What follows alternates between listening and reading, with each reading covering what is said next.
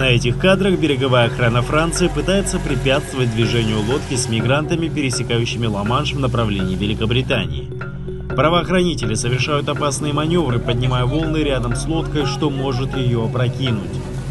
За французов заступились британские коллеги. appear that the French are trying to force this boat back because if they didn't, there's probably better than a 50 50 chance that it would sink.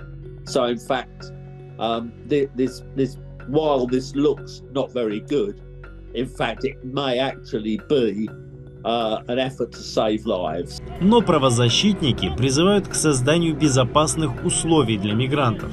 The only way to save life is to remove the need for people to make dangerous journeys. And you can't do that if all you are offering is somehow stopping a boat and doing nothing to ensure the person has access to a safe asylum procedure